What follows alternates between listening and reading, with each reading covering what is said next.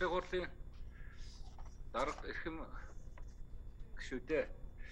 Улсын хурлын гишүүн Г Тэмүүлэн Жбатар нийл Мөнхбаатар нараас 2021 оны 5 дугаар сарын 17-ны өдөр Улсын хурлд өргөн мэдүүлсэн. Монгол хүний удмын сангийн аюулгүй байдлыг хамгаалах хүн ам өсөлтийг дэмжих талаар авах арга хэмжээний тухай Улсын хурлын тогтоолын төслийг хэлэлцэх хэсэг асуудлыг тус байнгын ороо 2021 оны 6 дугаар сарын 15-ны өдрийн хуралдаанаар хэлэлцсэн тогтоолын төсөл батлагснаар их хүүхд эрүүл мэндийг хамгаалах, гэр бүлийн хөгжийг дэмжих, олон хүүхэдтэй өрхийн нийгмийн тулгамсаа асуудлыг шийдвэрлэх, гэр бүлийн хүчирхийлэлтэй холбоотой гэмтрэг зөрчлийг бууруулах, өрөөхөр угийн бичиг хөтлөх, Монгол хүний удмын сангийн аюулгүй байдлыг хамгаалах, Монгол хүний оюун санааны чадвах, бүтээмж, өрсөлдөх чадварыг дээшлүүлэх, үндэсний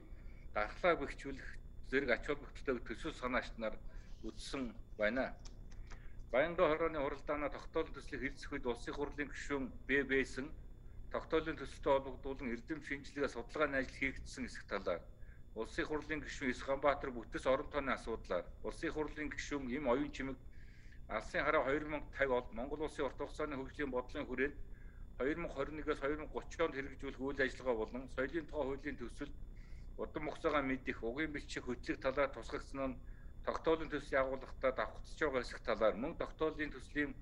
6-гийн 1 нэгд заасан эхийг амарсны дараа асаргаа сувилгаанд эрүүл мэндийн даатгалаар суулгах эрхтэй байх төр хувийн хвшлийн хамтарсан тогтолцоог бүрдүүлэх төсөв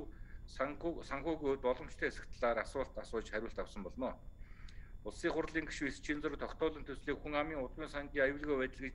дагнаж гаргах нь зүйтэй. Мөн соёлын тухай хууль, гэр бүлийн тухай хууль туслагдсан заалтын хэрэгжилтийг хангаж салбарын уялдаа холбоог сайжруулах шаардлагатай байгаа талаар Улсын хурлын гишүүн Б Баяр сайхан 2005 онд эрүүл мэндийн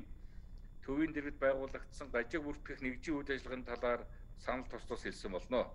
Монгол хүний удмын сангийн аюулгүй байдлыг хамгаалах, хүн амын өсөлтийг дэмжих талаар Улсын хурлын тогтоолын төслийг үзэл баримтлалын хүрээнд хилцэх эсэх асуудыг Баянган орооны хуралдаанд оролцсон гишүүдэд олох дэмжиж Улсын хурлын чуулган нэгдсэн хуралдаанд хилцүүлэх нь зүйтэй гэж үзсэн. Улсын хурлын эрхэм гишүүдээ